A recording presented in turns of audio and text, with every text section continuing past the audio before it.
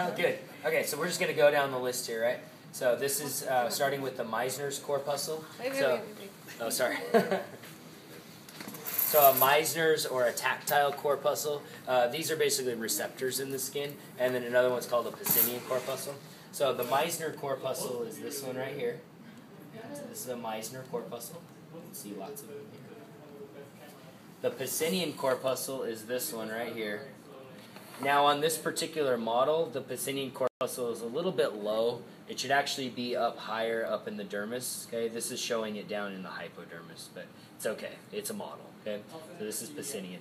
Uh, next we have apocrine sweat gland. This is the apocrine sweat gland.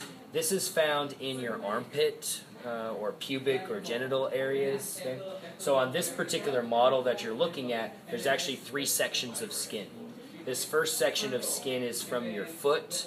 This area right here is your axillary or armpit area, and then this area right here is, I think, scalp. Yeah, so this is from the scalp. Okay, so this particular sweat gland, notice, is not in these other areas, right? It's only in the axillary. Okay, and it's got this tube that's coming to the surface. So this is called an apocrine sweat gland.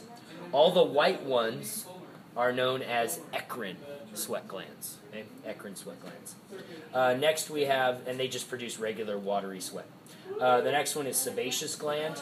So these are sebaceous glands right here. You can see it opened up right here. These are the ones that create the oils for your hair and for your skin. Uh, next we have dermal papillae.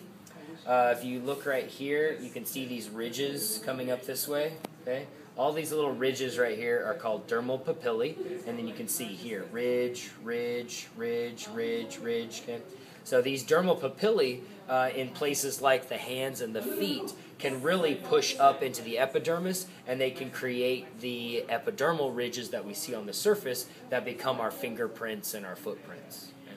So dermal papillae. Uh, epidermis has five layers in thick skin, four layers in thin skin. So these are the layers of the epidermis. So this is all epidermis here. The first dark layer right here, stratum basal. Next layer up, stratum spinosum. Next dark layer, stratum granulosum. The white layer, stratum lucidum. And then this upper layer here, stratum corneum. So five layers in thick skin. Bobby should greet Lucy carefully. In thin skin, notice it's a lot thinner, okay? But it also only has four layers. It doesn't have this white layer in the thin skin portion. So you have stratum basal, stratum spinosum, stratum granulosum, stratum corneum. Uh, next on the list here, root hair plexus. Okay? What a root hair plexus is, is the nerve that surrounds the hair follicle. On this particular model, we don't show any nerves around the follicles. We show blood vessels coming in, but none of the nerves. Okay, so and I don't think that model, that one doesn't really have one either. It shows blood vessels, but it doesn't show the nerves. So you'll have to use the diagram. Uh, these are supposed to be nerve fibers here, but they're not actually surrounding it. So we won't do it on the model. Okay, uh, but from the diagram, I think your yeah. See, your diagram shows it nicely. See these yellow lines on the diagram. Okay, that's a root hair plexus.